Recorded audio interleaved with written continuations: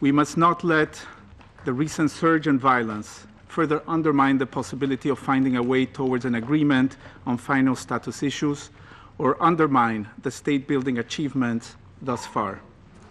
The wider region has continued to witness dramatic developments, which add to the importance of redoubling efforts to break the deadlock as progress towards peace and meeting the legitimate aspirations of the Palestinian people to statehood could be an important stabilizing force in the Middle East.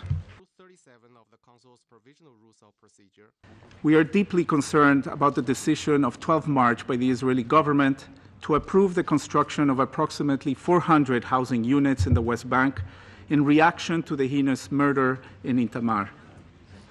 On 1 March, the Jerusalem municipality issued a permit for the construction of 14 apartments for Israeli settlers in Ras El Amud neighborhood in East Jerusalem.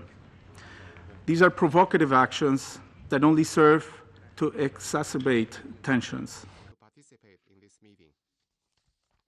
The Secretary General noted with much interest President Abbas' readiness to visit Gaza in an effort to end Palestinian disunity. He also discussed the importance of Palestinian unity with the Egyptian foreign minister in Cairo and noted Egyptian intentions to focus anew on this important issue. It is important that the leaders respond to the clear wish of the people for unity. The important achievements, especially those related to the state building agenda of the Palestinian Authority, would be at risk if the impasse in the political process is not overcome.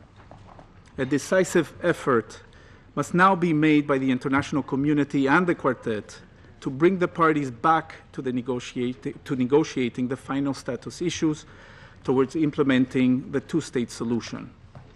We urge the parties to demonstrate leadership and rise to the challenge of making historic peace.